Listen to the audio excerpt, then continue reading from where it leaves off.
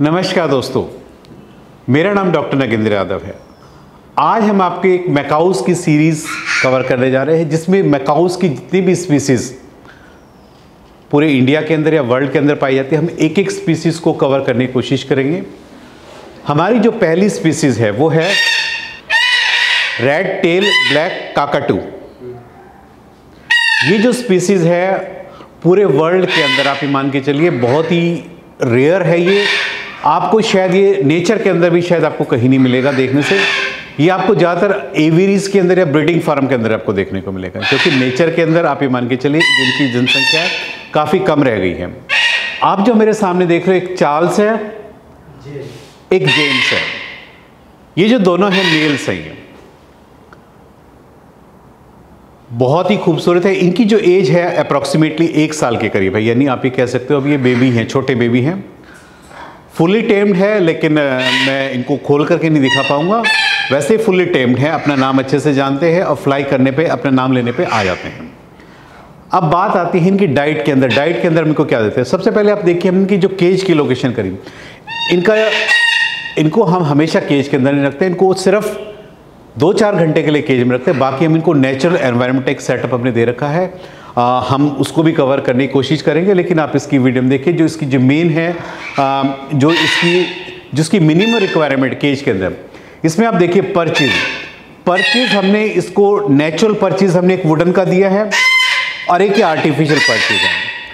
Purchase के ऊपर बैठने का आप देखेंगे जैसे ये अपने नेल्स की ट्रिमिंग क्योंकि परचेज के ऊपर बैठने से क्या इसकी नेल्स की ट्रिमिंग होती रहेगी, क्योंकि इनके जो नेल्स हैं ऑटोमेटिक बहुत ज़्यादा बढ़ते हैं। यदि हम इसको इस तरह की परचेज प्रोवाइड नहीं करेंगे तो इनके नेल्स ज़्यादा बढ़ने से हमें नुकसान पहुँचा सकते हैं, या अपनी बॉडी को भी नुकसान पहुँचा सकते इसलिए नेल्स की ट्रिमिंग करने के लिए नेचुरल परचेज होना चाहिए। दूसरा आपको पता है कि ये थोड़ा सा एनर्जेटिक होते हैं, इनको टॉयज़ की भी ज़्यादा ज़रूरत होती है। हमने देखिए इनको वुडन टॉयज़ दिया है। और ये जो टॉयज़ हैं, एक हफ़्ते से ज़्यादा बिल्कुल भी नहीं चलाते हैं, क्योंकि ये क्या है डिस्ट्रक्टिव नेचर के होते हैं। इनको सारा दिन बाइट करने के लिए बाइटिंग करने के लिए कोई ना कोई चीज़ चाहिए होती है। इसलिए आप ये देखिए, अभी हमें से एक दो दिन हुआ लगा हुए आधे से ज़्यादा इन्होंने जो है इसको बाइट कर दिया है। यानी एक हफ़्ते के अंदर इस पूरे जो टॉय है, इसको डिस्ट्रॉय कर देंगे, उसको इसको चेंज करना पड़ेगा। अब बात आती है केज की डिज़ाइनिंग की। केज डिज़ाइनिंग आपके सामने है। दूसरा जो है, इसमें देखिए फीडिंग के बाउल की लोकेशन इसमें सबसे ज़्यादा इंपॉर्टेंट है। हमने इसमें देखे दो दो, हमारे पास बर्ड्स है, हमने दो फीडिंग बाउल दिया है एक वाटर का बाउल्स दिया है। अब वाटर के बाउल्स में क्या है देखिए, इसकी जो ओपनिंग है, हम बर्ड्स को बिना डिस्टर्ब करें, ये बाहर से देखिए। ये बाहर से आपने इस तरीके से आपने इसका ओपन करना है, आपने इसमें पानी डालना है और आपने इसको बंद कर देना है। ये इसका डिज़ाइन इस तरीके से। सेम इसी तरीके से हमने फ़ूड का दिया है। ये ये देखिए। ये हमने इसके अंदर फ़ूड डाला। और फ़ूड डालने के बाद हमने इसको इसमें वापस डाला। और ये बाहर से इसकी ओपनिंग है। ये देखिए। तो बर्ड्स को कम से कम डिस्टर्ब करें, उसका जो फ़ीड है बाहर से ही उसके अंदर लोकेट कर देते हैं। केज में कोई गंदगी ना हो। उसके लिए आप देख केज के अंदर जो नीचे है ट्रे सिस्टम है। यानी जितना भी जो वेस्ट मटेरियल है, ऊपर से नीचे ट्रे के अंदर चलाते हैं। उसको हम दिन में एक या दो बार क्लीन करते रहते हैं ताकि केज में किसी प्रकार की कोई दिक्कत ना हो। अब बात आती है कि इन बर्ड्स की डाइट क्या होती है? देखिए बर्ड्स की डाइट इसके लिए बहुत ज़्यादा इंपॉर्टेंट है, क्योंकि रेयर ब्रीड्स है, इनकी डाइट बहुत ज़्यादा वेल वेल बैलेंस्ड होनी चाहिए। उसके लिए हम डाइट में आपको दिखाते हैं, इनको क्या क्या देते हैं?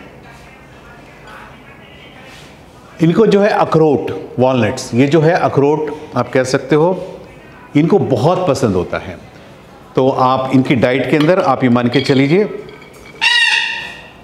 दिन में चार से पाँच बार अखरोट आप पानी में भिगो करके या सूखे भी ऐसे आप इनको दे सकते हैं। इनको काफ़ी पसंद है ये सब चीज़ें। और आप ये कह सकते हो विटामिन का खजाना है ये सब चीज़ें। क्योंकि इनको नट्स वगैरह इनकी, क्योंकि जब तक आप इनको एक बैलेंस डाइट नहीं दोगे, जिसमें विटामिन प्रोटीन नहीं दोगे तो उनके बॉडी में डिफिशियंसी होगी। तो इसलिए वेल बैलेंस मेंटेन डाइट देना इनके लिए बहुत ज़्यादा ज़रूरी है। देखिए शायद ये ये देखिए, ये शायद देखिए। ये देखिए ये देखिए कितना खुश होकर के खा रहे हैं। ये देखिए, ये लो। ये देखिए। ये इनको इतने ज़्यादा पसंद है, ये देखिए। इनका खाने का तरीका देखिए, अपने एक एक हाथ से पकड़ करके एक एक खाते में तो ये ट्रेनिंग का भी एक तरीका होता है कि अपने बर्ड्स को ट्रेन करना है तो इनको टीच ट्रीट्स की तरह प्रयोग कर सकते हैं या एक एक बर्ड्स को आप इसको दे सकते हैं। ये बहुत ही खुश होकर खाते हैं। इनको ज़्यादा एक्सेस लिमिट में भी दे सकते हैं। इनकी जो क्वांटिटी है, बिल्कुल कम रखना है। दूसरा, हम इनको जो डाइट्स में हैं, ये नट्स देते हैं। यानी मूंगफली इजली अवेलेबल मार्केट में, ये भी इनको काफ़ी पसंद है।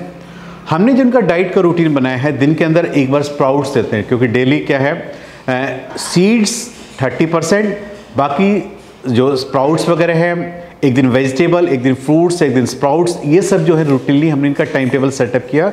उसी के हिसाब से हम इनकी डाइट को मेंटेन किया हुआ यानी हमने प्रॉपर इनका एक चार्ट मेंटेन किया हुआ है कि बर्ड्स में किसी प्रकार की कोई डेफिशिएंसी ना हो।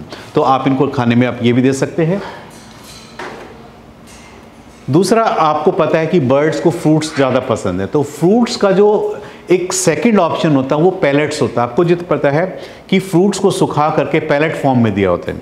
ये जो पैलेट्स होते हैं मैं अपनी वीडियो में पहले बताया पैलेट्स जो होते हैं कलरफुल होते हैं। बर्ड्स को क्या है? कलर्स का टेक्सचर बहुत ज़्यादा होता है। तो आ, ये फ्रूट्स को सुखा करके ही पैलेट फॉर्म में दिया होता है और ये बर्ड्स के लिए हेल्दी होते हैं क्योंकि उसमें अमीनो एसिड्स विटामिन और मिनरल्स से काफ़ी काफ़ी मात्रा में होते हैं ये बर्ड्स काफ़ी पसंद करते हैं। हफ़्ते में एक या दो दिन हम इनकी डाइट में ये भी ऐड करके देते हैं। उम्मीद करता हूँ कि आपको मेरा वीडियो पसंद आया होगा। यदि आपको मेरा वीडियो पसंद आया तो प्लीज़ मेरे चैनल को सब्सक्राइब कीजिए। धन्यवाद।